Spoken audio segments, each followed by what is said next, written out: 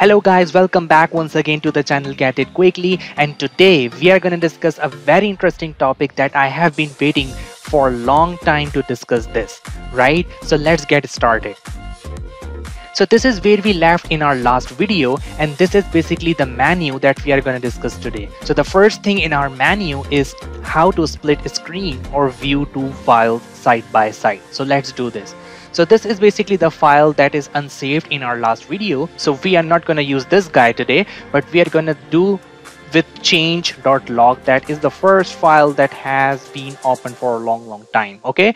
So to view this file in the other view or to split the screen in notepad plus what we are going to do here is basically right click on this tab here and then we have an option move document and then in this menu we do have like four options. The first is move to the other view the second is clone to the other view the third is move to the new instance and the fourth is open in new instance. So here for that functionality like to view the file in just side by side in just one instance of notepad++ this is basically what we are going to do. Move to the other view. So click this guy here and then you can see like that file is just moved to the other side of the window and this is basically just one instance of notepad++ right here. Okay?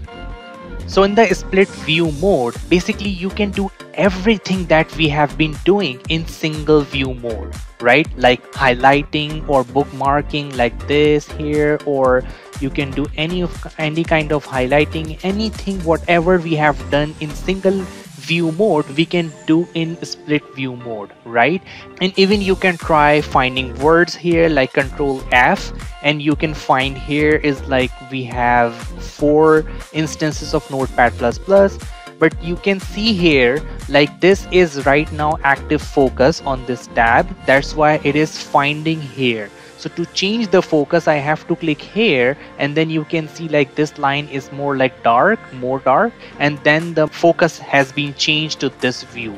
And if you try to find this guy here, now it does say there's no word notepad++, plus right? Now let's get back to our menu. So the first thing we have learned already. So this is done.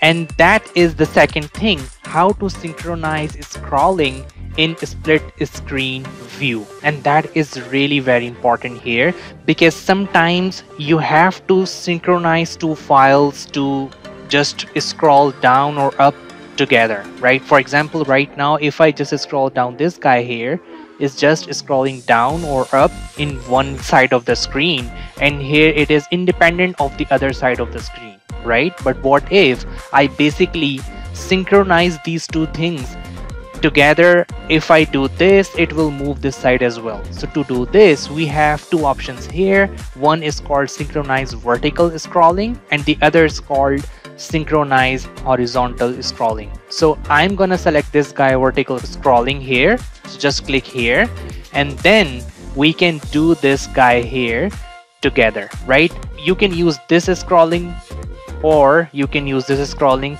They are now synchronized. Here I don't have horizontal scrolling so what I can do for example I'm gonna type any of just garbage thing to make this guy have horizontal scroll. So now I do have horizontal scroll here as well and here I do have the horizontal scroll so if I'm gonna log this as well like synchronize horizontal scrolling click here and then it's gonna synchronize these two things as well. So you can see we have synchronized and you can definitely unlock these two guys back to whatever it was right? So this is also done in our menu here and we have third thing in our menu is how to change the split screen view to horizontal or vertical. So right now we do have the view in vertical position right? This file is basically placed vertically with this file but definitely you can change it to horizontal. Like you can just rotate the views right? And how we are going to do this? If you notice we do have this center line in the split screen view. And this is basically the dotted lines. If you right click on this line here you do have two options rotate to right or rotate to left. And this is basically it's gonna do with this right side file right? So if i click rotate to right it's basically it's gonna be clockwise rotating right? So you can see this change.log is basically rotated to this side of the screen. So now it becomes horizontal view right? That's cool or not? Okay so we can definitely change back to this guy but this is more like rotating function. So if i do rotate right one more time then a funny thing will happen see all that files? They are now here and that file is now here. Change.log is now on the left side of the screen because the functionality is more like rotating the view. See and if I do it one more time then this is basically on the upper side of the screen and these are on the lower side. And if I do that one more time I do have the same view that I had before right? And of course this center line is just not rotating the view. You can also change the area of the file right? If you have big text on this file you can definitely move this view to become that way or definitely you can do either way right? And these arrows here this, there are the small arrows. If you just click here it will basically just move the other view most right of the screen right? And if you do this guy here on that thing then it will just move that file which was on the right side to the whole screen but still all of the tabs are still opened on the other side of the view.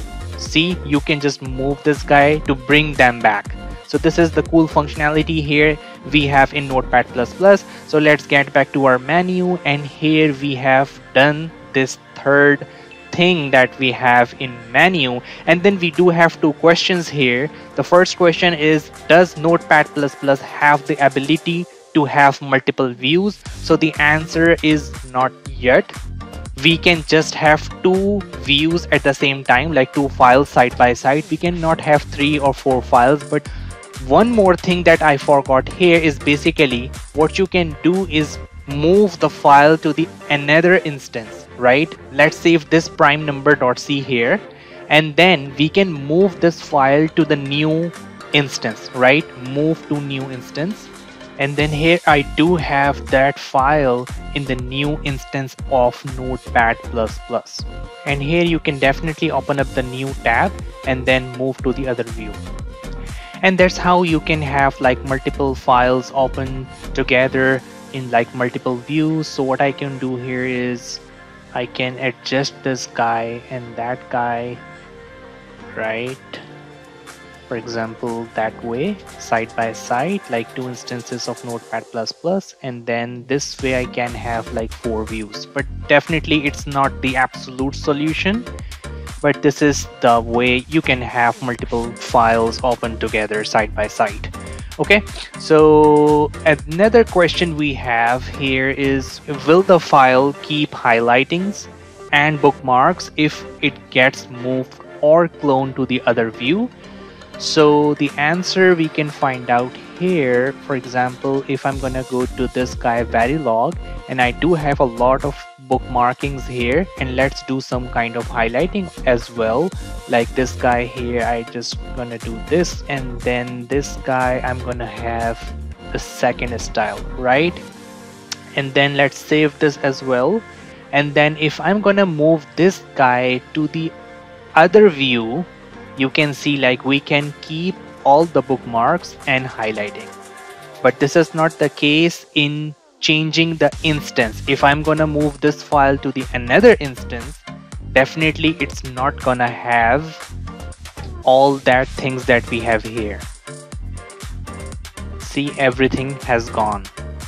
And I can definitely drag this file back to here and then I can just without closing the instance I can have this file back here. But unfortunately I cannot keep all the bookmarks and highlighting if I'm changing the instances.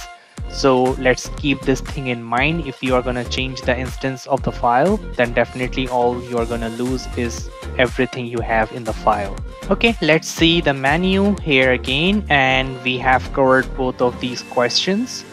And the bonus tip I'm going to share here is basically the clone option so that option is very useful if you are more like working on one file and you want to see something on top of the file but you are basically editing on the bottom of the file. So in that condition we use the clone function probably. So what I'm going to do here in the verilog.v file I am gonna clone this file to the other view. So basically it's exactly the same file but you can see that file in two different views. But if you are gonna add anything here you are basically editing the same file here. For example if I'm gonna type here like G you can see like that G is also displayed here as well because this is the same file right? So the functionality to have the clone here is basically if you want to keep this thing in front of you and then you are adding something here in that line you can do that right? So this is bonus tip and that's it for this video. I will see you in the next video and if you haven't subscribed the channel yet I suggest you to do because we are gonna learn a lot of things together in Notepad++ and the other softwares in future. So thanks for watching